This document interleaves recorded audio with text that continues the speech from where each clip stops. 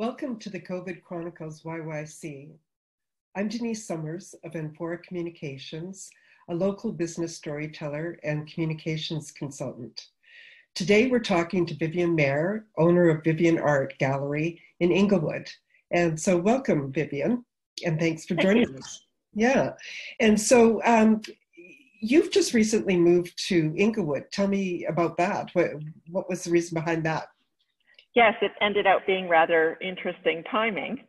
Um, I made the decision to move to Inglewood last summer.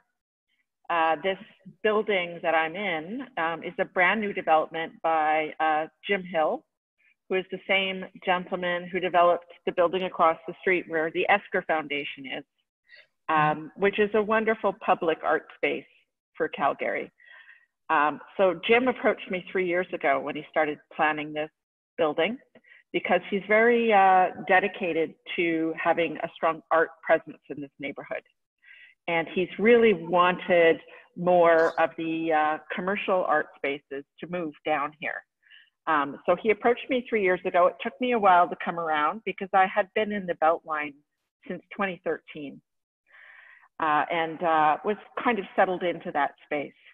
Um, but I really came to feel like I would uh, be uh, driven by the traffic and energy that I knew that this uh, this neighborhood would bring into a space. And uh, while I loved my Beltline gallery, uh, foot traffic was quite light. So I was really uh, dependent on people coming to my gallery as a destination. Uh, so um, I made the decision last summer, and the space began to be fixtured as a gallery in February. So as we all entered into this phase of social isolation, I was actually already full thrown, um, you know, into planning and executing this move. So um, I just went ahead with it, um, and and uh, didn't, you know, I I wasn't able to open the exhibition I had planned to be my last swan song in the Beltline because it was meant to open a third week of March uh, and everything was beginning to close down. So uh, we entered into a uh, phase of virtual presence, which uh, I think a lot of businesses uh, responded by going virtual. An art gallery uh, requires people having a visual engagement at a minimum um, with, with the products. so we did that entire show virtually. Um, and then we're able to open just two weeks ago in this new location physically for the first time since then. Right. So was the timing kind of good then for you that um, because you were setting up the gallery and, and getting it ready to open, you would have been closed at the beginning of, of the COVID pandemic anyway? Is that right? Yeah. Um, yeah. I mean, I guess it was. Um, I mean, I hesitate to say it was good, although I feel like we made good things out of it. Right. You know, I um, I I don't sit well. I don't sit still very well. so um, when everyone started to have to isolate and close down and all of that, I felt really bad for the artist. Yeah. Um, so immediately started planning to do, you know, we did a, a YouTube live and Instagram live opening event for her she and I physically distancing in the gallery, and we spent an hour and talked about the work, and um, and saw a couple of online sales as a result of that. So um, it was uh, it was a quick response on my part to begin to do things virtually, and like a lot of businesses, I expect I always will now, because it really offered a lot. Um, while we lost the ability to connect with our community directly here in Calgary, it opened us up to a whole nother world. Okay. Yes. Outside of Calgary? Is yes, yes. Yeah. Um, I mean, and and here as well, because I I noticed immediately when um, when all of this pandemic started and people were isolated in their homes, there was such an appetite for social media. So even people who had been resistant to the idea of Instagram, we're suddenly engaging with it. Um, and our numbers, uh, we went up, well, a number like a third in our number of followers over the course of March, April, May to now. Uh, and I think it was about uh, people wanting, you know, they were starved for content and they weren't able to go out to the galleries. They weren't able to socially connect with the artists the way they normally would. And so they responded to this online presence in a whole new way, I think. Um, and we, we just embrace that. So I, in addition to doing um, virtual promotions of the exhibition I had in space, I did two Instagram series over the course of those three months. Right, and, um, um, it meant that every single day I was planning uh, a major post, um, which uh, kept me active and right. engaged. And um, and I found there was just yeah this appetite for it. Yeah, it's interesting uh, how we've come to depend so much on the arts during this time. And I was just talking to a, uh, another interviewee last week who works with um, not-for-profit organizations um, and a lot of the arts ones um, here in Calgary, and uh, and about how underfunded these organizations are quite mm-hmm. often. Yeah. Uh, but yet, in this time, we've really come to depend on them, and uh, so it's yeah, it's been very interesting. And so you um, represent a lot of uh, emerging and established Canadian artists. Is that correct? That's yeah. right, Denise. Primarily, um, I have two artists on my roster who are not Canadian. One, one actually graduated high school here in Calgary. Um, she went to Western Canadian High, and it's where she first picked up her her skill of photography. Um, and she is Ethiopian and had left as a small child and returned as an adult. And so she is in Ethiopia. Um, so she is non-Canadian, but yet she was Canadian educated and raised largely. Um, and then I have another, a South African artist, otherwise all Canadian and primarily um, emerging to mid-career. Uh, so um, that typically, I mean, it, it's kind of arbitrary in a way, but typically an artist is considered emerging until 10 years after their graduation from a post-secondary um, institution. Oh, really? So, so we're talking about. Uh, I, I, really enjoy building careers, so it's a big, it's a big focus for me. Yeah. Well, that's great that they have you supporting them. And your, your um, first exhibition is with a Calgary artist, Erik Olson. Uh, yes. That, yeah, yeah. It, um, it is correct. I'm happy to, to do a wander around. Um, Erik is um, a Calgary guy, although he's been in Dusseldorf, Germany for just well over four years now. He went, um, he was invited to study under a, an international painter named Peter Doig. And uh, Peter was teaching at the Kunstakademie in Dusseldorf. Uh, Erik Olson um, was living and working in Calgary in a studio in the old Cannery Row building. Okay. And um, he uh, always loved Peter Doig, and there was a retrospective in Montreal, and he traveled to Montreal to see it and managed to meet Peter at the opening. Um, and, you know, as artists do, they went drinking afterwards. Um, and he uh, ended out getting an invitation to go study with Peter, which was uh, a phenomenal opportunity. But often we overlook opportunities like that because they just feel too big and too daunting. But Erik is a traveler, he's a wanderer, he loves adventure. So he took it on. He moved to Dusseldorf and studied for a full year at the Kunstakademie under Peter Doig. Um, that was 2014, 2015. Um, and he loved it so much there that he got an artist visa, he got a studio, and he's still there. Oh, good he's, for him. Yeah. He's back and forth quite a bit because his parents are here and um, and his friends, you know, many of his friends are here. So he's typically been here at least once a year for a good long stretch and an exhibition. And he planned to be here for this opening. Um, but of course, the world went sideways.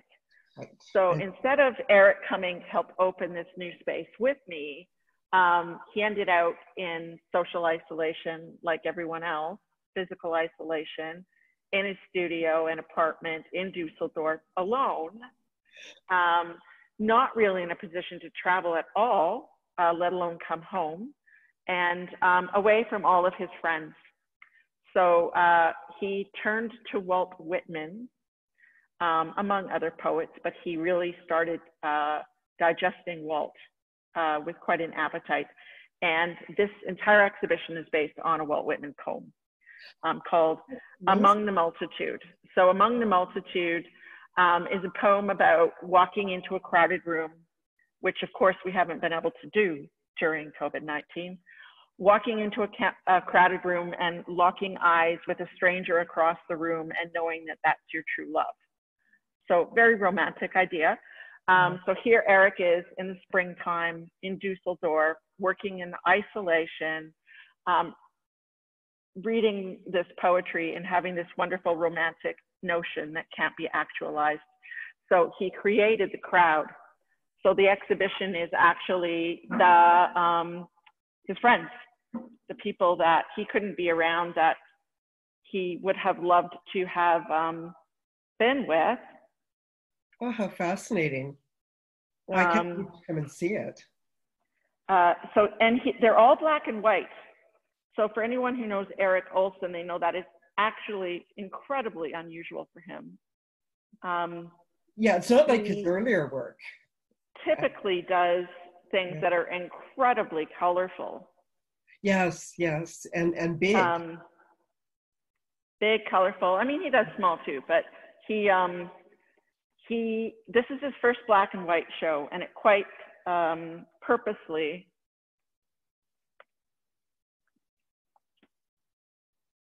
was black and white because for him the springtime was devoid of color.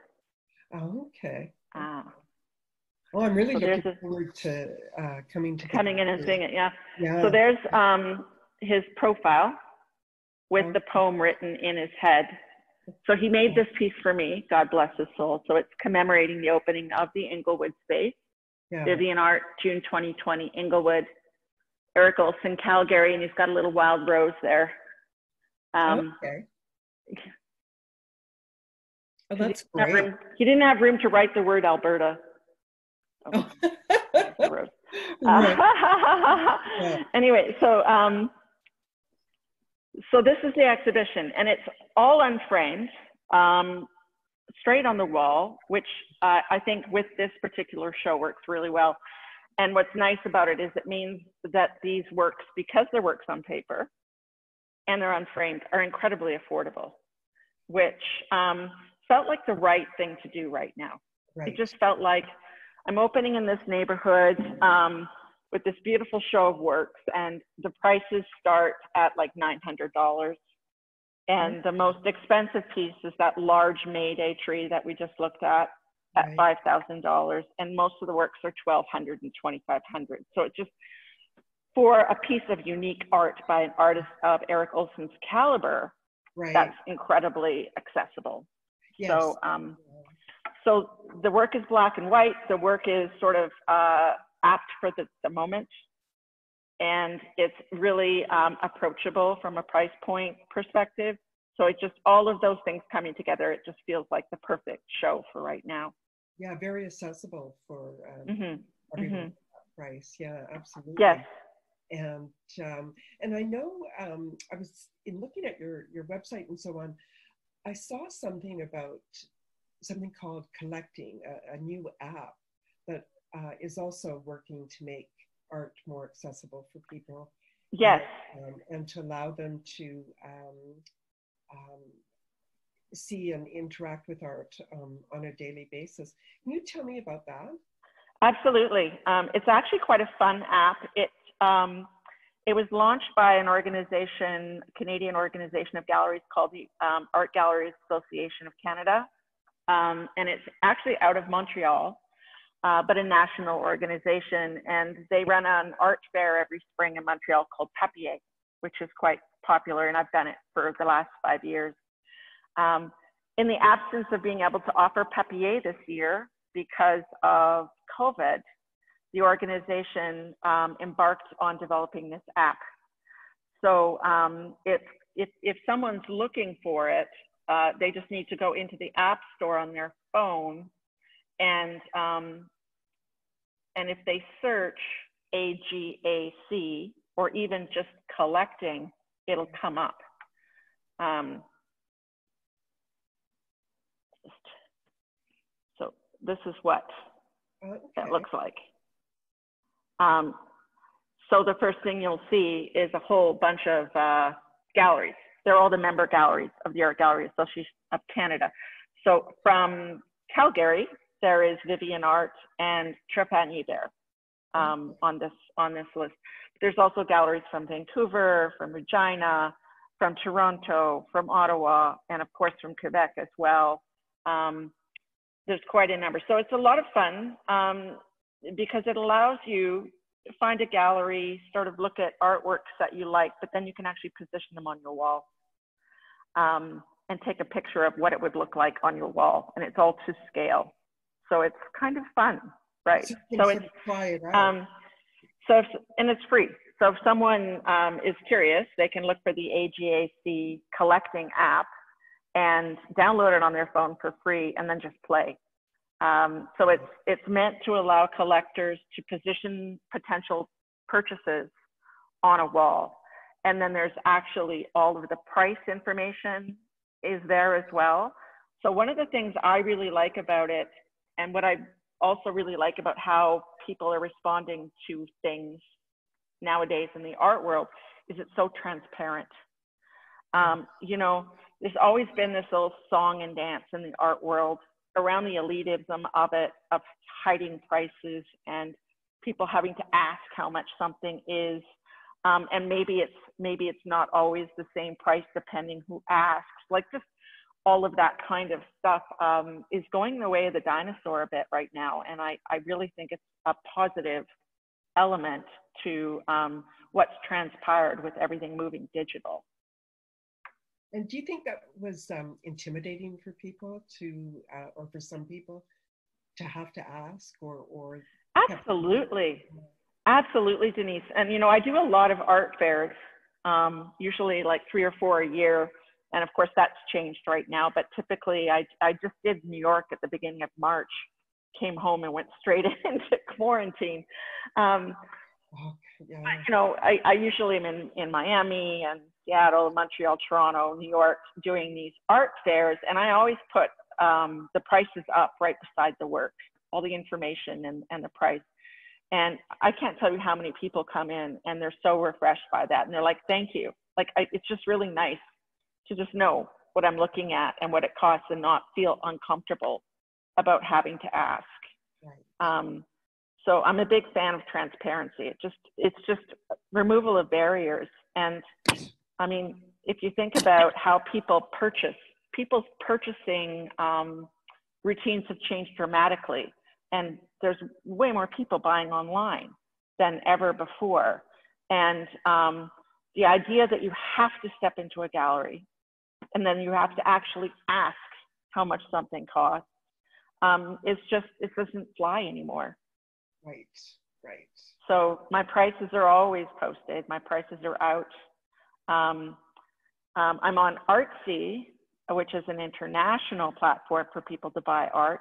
And some of my artists have actually asked me not to have prices there, and I have to sort of battle with them a little bit um, because it is just such a traditional way to do business in the art world. Right, right. Mm-hmm. Uh, and uh, and with COVID happening right now, how does that impact people coming into the gallery? Uh, are you limited to how many people you can have in at a time? Yes, for sure, for sure. I mean, I certainly, I opened my doors two weeks ago Saturday, but I didn't do an opening event. I did a virtual live Instagram event um, for this opening, just like I did for the one in March with Sarah Nordin. So Erik Olson, I mean, he was in Dusseldorf anyway, so it worked out well. Um, we had a split screen, he and I, and we um, chatted for an hour and and walked around and looked at the work kind of like you and I just did. Um, the Saturday was our first day opened, and I really didn't know what to expect because um, you know I think a lot of people are tentative about being out and about, but we had 38 people that first day, and Good. of course not all at once. Um, so it was nice. I mean, of all things, to feel safe. I mean, I had the front door propped open in fact, any day I've been open since I opened, it's propped open, so no one even has to deal with the doorknob right. or handle. Right. Um, I've hand sanitizer and masks at the door. Um, but then it's an art gallery. There's nothing to touch. like you literally can walk in and look around the entire space and never make contact with anything. Right. Um, uh, so I think people have felt quite safe. I've been wearing my mask um, as a form of respect. Yeah. And then, you know, when some of my regulars come in with their permission, I'll remove it. Um, but it's been quite easy to distance. Um, you know, the guide, the, yeah, the guidelines are um, one person for every 10 square feet. I've got 1,700 square feet here. There's no way I've had 17 people. I've had eight to 10 at most right. at one time. Um, so I, I think it's felt like a fairly safe space for people. Right. Yeah, no, mm-hmm. it sounds like it was, uh, like it is. Yeah. Yeah. Yeah. And, and I, I don't I don't know how much of it is the change in neighborhood, but I've had way more traffic, more people coming into the space than I'm used to. So it's been a very pleasant couple of weeks. Oh, that's great. Yeah, I've been yeah. I was I've been to your um, previous gallery um, before, mm-hmm. and in yes, the Beltline, yeah, yeah, and I can definitely see where you would get um, a lot more traffic in um, in Inglewood, and yes. just yeah, just the way that community's um, set up and, and designed and, and so on. So that's that's great. And so what um, what would you like to see for the gallery going forward? What what hopes you have? Um, well, I feel like um, be, there's no way any of us could have seen this coming. But what I did see coming and was already responded responding to was the real change in the economy in, in Calgary. Mm-hmm. So um, having um, uh, an online platform for sales that's international, Artsy, um, is something I've been doing for already uh, a year and a half, almost two years. Um, that I, was something I established well in advance of this. And also going to art fairs is something I started to do um, four years ago. Like I, I always went to one or two, but I just upped it um, because I really felt that while Calgary is amazing, we have incredible supporters here. And to be honest, this store, this show has sold so well, and only uh, two of the sales were from outside of Calgary. So we're we're um, very well supported here in our community, and I, I, I don't want to say I don't appreciate that because I really do. But I've known for a while that it was important that the galleries market be much broader than just the city. Um, so I've always been focused on um, not being a regional gallery. I represent artists from across the country. I've Got artists in Saskatchewan, Quebec, Ontario, um, British Columbia, and that's uh, been a real focus for me. With that comes purchasers from across those provinces as well. And then having a presence at the art fairs broadens our, our sort of group of purchasers and collectors. And so I feel like we're um, in a better position than we would have been um, with this all hitting us uh, because we have a broader uh, base of collectors than we would if we were really regional in our focus. Um, I hope to get back to the art fair circuit. It fuels me. Um, I get a lot of energy from it as well. And it is partly how I have um, managed to find such strong talent um, to represent is that I get to all of these other cities um, and meet these artists uh, from other parts of the country. So I hope that's in my future. I'm optimistic it will be as things begin to settle with with all of this pandemic. Um, I'm going to continue on the track I'm on, which is representing artists that are approachable, price point wise, um, because I'm also uh, really enjoying building new collectors. And building new collectors means being approachable price point wise. So uh, the two things work hand in hand supporting emerging artists and building a new collector base of younger collectors works really well together. Right. Um, and I like the idea of actually having the two introduced, marrying the two. They're like, they're real people. The, pe- the artists are real people. And the collectors actually have the opportunities typically because I usually have artists come when I open a show to meet and actually develop a relationship and begin to support a career, which I think is a really right. exciting part of collecting art. So that will continue to be my focus moving forward for sure. Yeah, absolutely. That's great. And uh, yeah, and just a, a, wonderful approach to it. Uh, so that, that brings us to the end of the interview here, Viviane. Is there anything you, else you'd like to add? Um, thank you for your interest and support. I, um, I guess I would just like to add that I really applaud all of the people out there who are um, resilient and strong and fighting and finding new and creative ways to do business, no matter what they're doing, whether they're in a restaurant business or an art gallery or a clothing store. It's just so challenging for, for all of us. Um, and I think uh, I just really applaud ingenuity and I, I see it all around us right now. Yeah. Yeah. Yeah. And uh, well, thank you so much for joining us. It was a, a really interesting chat, and uh, and thank you to everyone who's watched the COVID Chronicles. And stay safe and stay healthy and Calgary strong. Thank you, Denise. Thank you, Viviane.